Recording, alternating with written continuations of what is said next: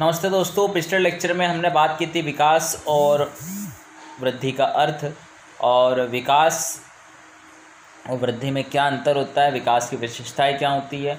लेकिन हम आज बात करेंगे विकास और वृद्धि को प्रभावित करने वाले कारक। वैसे तो विकास और वृद्धि को बहुत सारे कारक प्रभावित करते हैं, लेकिन हम कुछ मुख्य कारकों के बारे में बात करेंगे। पहला कारक है पोषण। जैसा सबको सर्वविदित है कि पोषण जो होता है, वो शरीर के लिए कितना आवश्यक है। जैसे हम इंग्लिश में न्यूट्रिशन कहते हैं। वैसे ही हमारे भोजन में, जिसे हम संतुलित आहार कहते हैं, हमारे भोजन में नियमित रूप से कार्बोहाइड्रेट प्रोटीन वसा that means fat vitamin mineral खनिज लवण का होना आवश्यक है। तो पोषण किस प्रकार से हमारे विकास और वृद्धि को प्रभावित कर सकते किसी भी बालक के विकास में पोषण महत्वपूर्ण भूमिका निभाता है।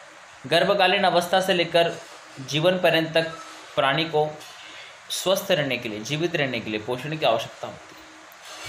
शारीरिक विकास की दृष्टि से पोषण महत्वपूर्ण है। पोषण शरीर की वृद्धि और विकास उस प्रकार भूमिका निभाता है, जिस प्रकार एक बीज वृक्ष का रूप ले लेता है। बीज सीधे ही वृक्ष के रूप में परिवर्तित नहीं होता है। बीज को परिपक्व, अंकुरित होने के लिए जर्मिनेट होने के लिए बहुत सारी चीज़ों की रिक्वायरमेंट होती है। जिस प्रकार बीज को मैन्यूवर्स एंड फर्टिलाइजर्स, जिसे हम खाद और उर्वरक बोलते हैं, उसकी ज़रूरत पड़ती है एक वृक्ष, विशाल वृक्ष के रूप में परिवर्तित होने के लिए।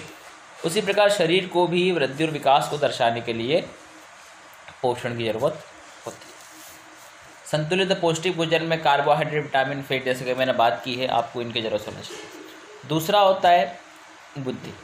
बुद्धि में मंद बुद्धि और तेज बुद्धि वाले बालकों की बात करेंगे। किसी भी बालक की बुद्धि या बौद्धिक क्षमताएँ उसके विकास के विभिन्न पहलुओं को प्रभावित करती है। अगर मान लीजिए कोई बच्चा तेज बुद्धि वाला है तो उसका विकास बहुत तेज गति से होगा। मान लीजिए कोई बच्चा मंद बुद्धि वाला है तो उसका विकास उतनी ही धीमी गति से होगा।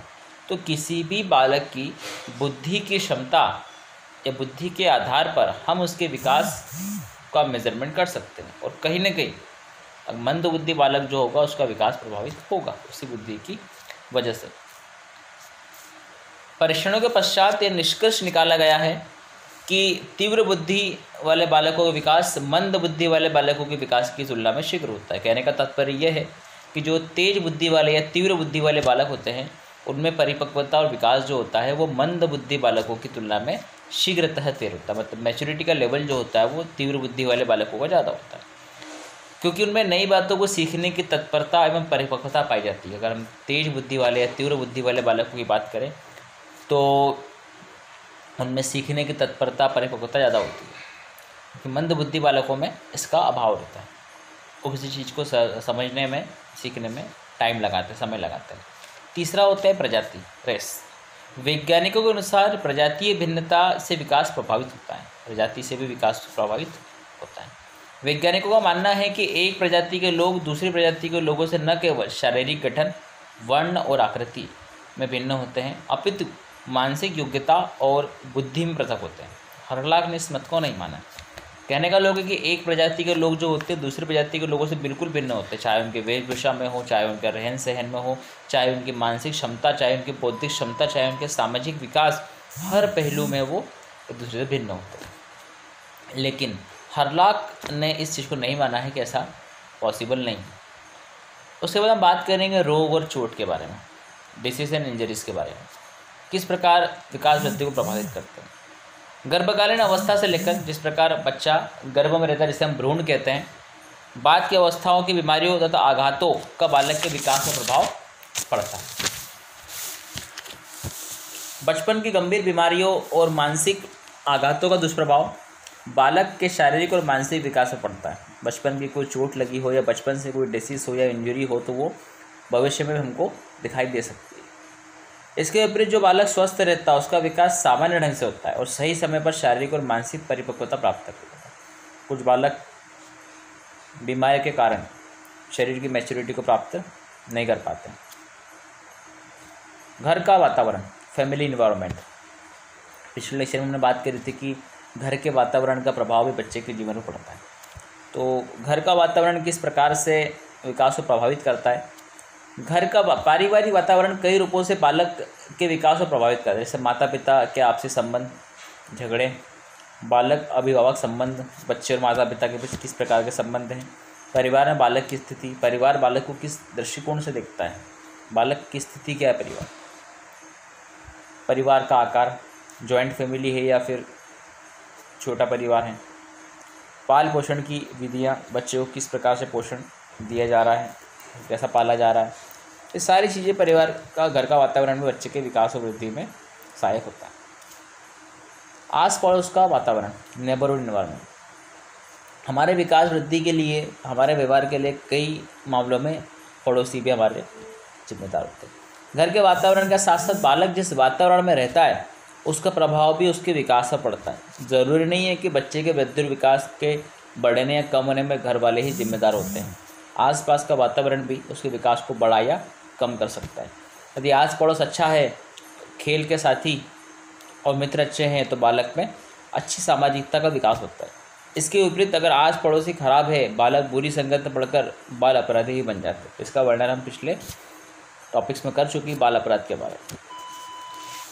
फिर विद्यालय का वातावरण। वो बालक जिस विद्यालय में पढ़ता है, उस विद्यालय का वातावरण कैसा है? प्रायः पाँच वर्ष की आयु से सभी बालक स्कूल जाते हैं। विद्यालय के द्वारा बालक को विभिन्न क्षेत्रों में सीखने का पर्याप्त अवसर प्राप्त होता है। हर प्रकार की एक्टिविटी सीखने को मिलती है। विकास परिपक्वता के साथ साथ शिक्षण का भी परिणाम है। शिक्षण से भी विकास होता है। अतः यदि विद्यालय का वातावरण अच्छा होता है तो बालक को पर्याप्त शिक्षण दिया जाता है। शिक्षक अपने व्यवहार और ज्ञान से बालकों का चतुर्मुखी विकास करता है, चारों तरफ़ से विकास करता है। तो बालकों को विकास गाइडेंस होता है। इसलिए विद्यालय का वातावरण भी ठीक होना ज़रूरी है। सांस्कृतिक वातावरण कल्चरल इन्वायरमेंट क्या होता है सांस्कृतिक वातावरण, हम उसकी बात करते हैं। प्रत्येक देश और समाज की अपनी संस्कृति होती है, जिसके अनुरूप प्रत्येक परिवार अपने बालकों का पाचन पोष, पालन पोषण करता है। अतः बालकों का विकास अपनी संस्कृति के अनुरूप ही होता है। जैसी संस्कृति होगी, परिवार वाले भी ऐसा ही पालन पोषण करेंगे और वैसा ही विकास होगा। उदाहरण के लिए, भारतीय और पाश्चात्य संस्कृति में काफ़ी अंतर पाया जाता है। भारतीय संस्कृति की बात करें, पाश्चात्य संस्कृति की बात करें, भारतीय संस्कृति जिसमें हम अभी वर्तमान स्वरूप में रह रहे हैं, पाश्चात्य संस्कृति में पला हुआ बालक प्रारंभ से मुक्त चिंतन का आदि हुआ था। चिंता नामक कोई चीज़ नहीं होती है। क्योंकि भारतीय बालक किशोर अवस्था तक आते आते अपने आप स्वतंत्र निर्णय नहीं ले पाता। इसी प्रकार से पाश्चात्य संस्कृति और भारतीय संस्कृति में भी अंतर पाया जाता है।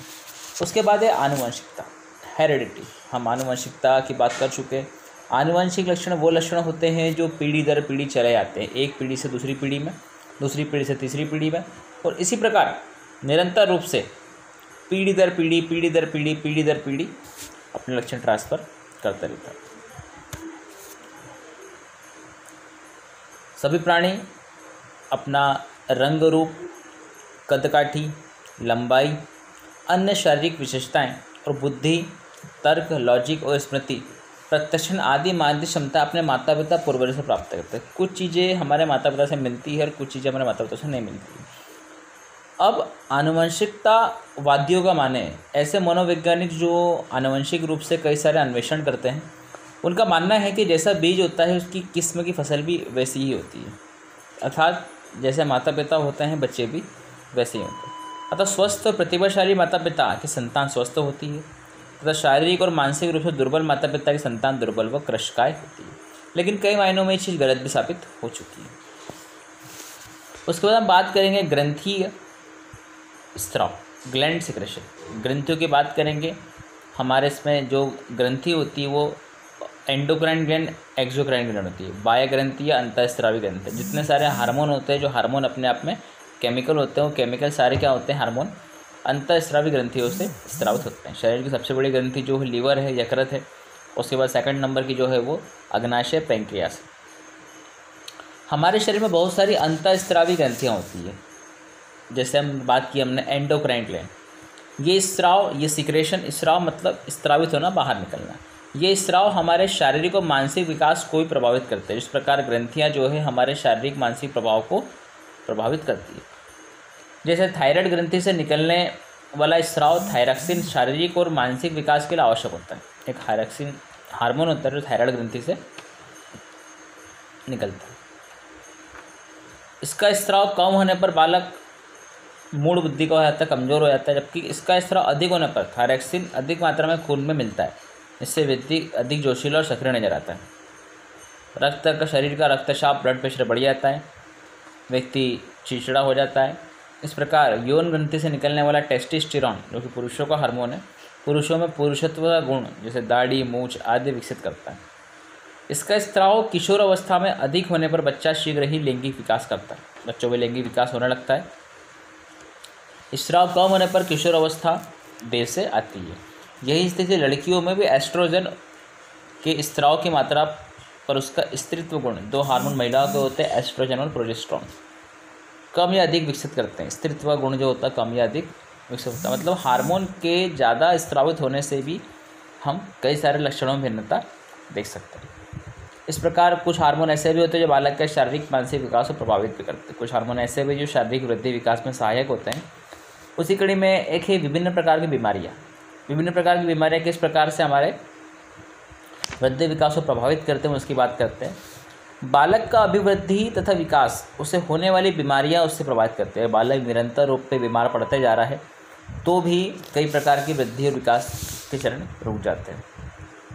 गर्भावस्था में माँ को होने वाली कई घातक बीमारियाँ बालक के मानसिक और शारीरिक विकास को प्रभावित करती है। साथ ही, जन्म के पश्चात भी अगर बालक किसी रोग से ग्रस्त हो जाता है तो उसे ठीक से इलाज नहीं हो पाता। कुछ चीज़ें आनुवंशिक चलती है, माँ के गर्भ से ही कई बीमारियाँ जन्म ले लेती है। और माँ के गर्भ में का सीधा असर बच्चे पर पड़ता है। इससे शारीरिक और मानसिक विकास अवरुद्ध हो जाता है, रुक जाता है।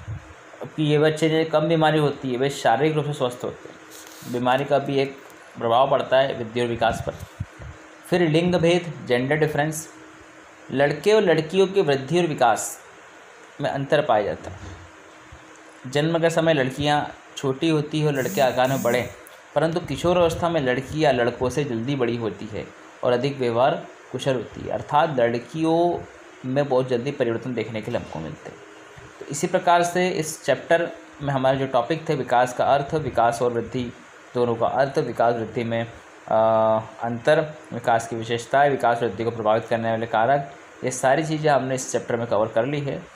अब अगले वीडियो में हम अगले चैप्टर की ओर रुख करेंगे। तब तक के लिए धन्यवाद।